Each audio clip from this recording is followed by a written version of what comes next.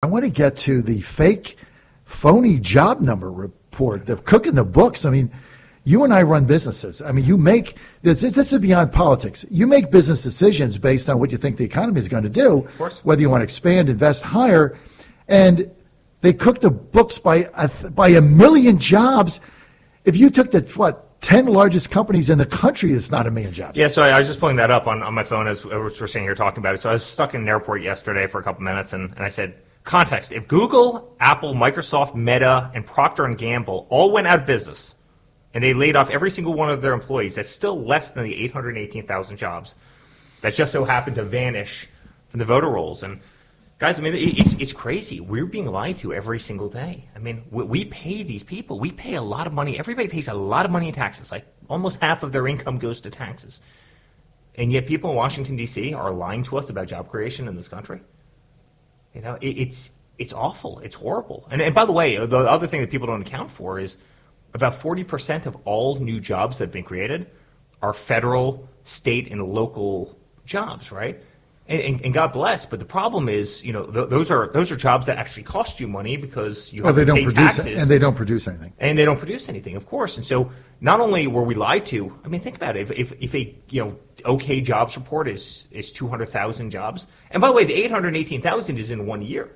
That's effectively knocking a quarter off of the last, you know, or more. It's it's it's, it's knocking a third of the year off in terms of job creation.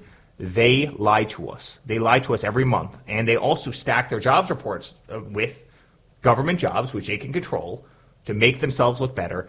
And the media is so dishonest, right? Economists know that this is happening, and some are talking about it. Very few, but some are talking about it.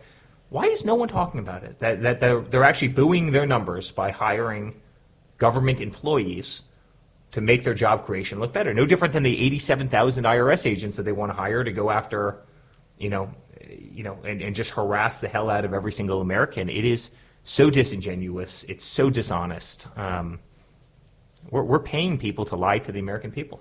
So they're saying the unemployment rate right now is three and a half percent. You, you add this million jobs to it, basically a million. You add this million jobs to it, it goes up to five and a half percent. Now you're in, you know, you're in recession range. Sure. And you know, I, the political ramifications are one thing. They want to control the narrative. And they they want on Friday to say, "Hey, we had a good jobs number," so you can go on the talk show Sunday and say uh, the Biden economy is doing fantastic.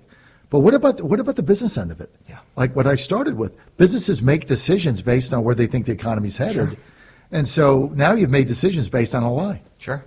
Uh, also, remember a lot of the jobs that are coming in, they're they're part time jobs, right? Where people are working two and three jobs. That's happening. I guarantee you, there are a lot of people listening to us right now who are working more jobs than they've ever had to work before.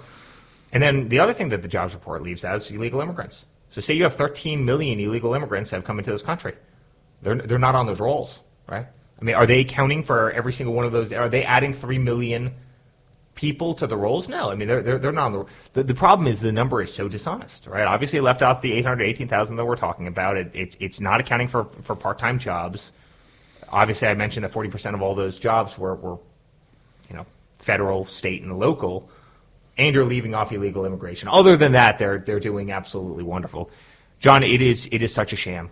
It is such a sham. We have incompetent people in the Oval Office. This country has real problems. I mean, real, real problems. People can't afford to live anymore. Uh, there's not a single person listening to us right now who hasn't felt uh, the massive price increases in this country. Wage growth in this nation have been, it's just been stagnant, right? There has been no wage growth. And that's a real big problem when every single year you have 10% inflation and everyone feels it. And you know it's it's interesting. Sometimes when people talk about price increases, they kind of you know they, they, they, they kind of shrug it off, meaning mainstream media, et cetera, et cetera. But all the price increases in places that you can't control. So you can't control auto insurance, you can't control your home mortgage, you can't control rent, you can't control you know groceries maybe a little bit. Guess what? Instead of buying a steak, maybe you can buy you know nothing, right? Pasta or something along. that. But like you know, uh, you know, gas. Gas is up three times from when my father was commander in chief. Heating oil, your utilities have gone through the roof. I mean, home insurance. What do you do about these? What are you supposed to do? Say, I, I don't want auto insurance anymore. Right. You know, like I, I don't want to. I don't want to fill my. uh, I don't, I don't want to fill my car with gas again. Right. You- can't make these decisions. These are these are things that are necessary for for life and work and you know, living and, and, you know, they're cramming people down again, no wage growth and massive expense increases.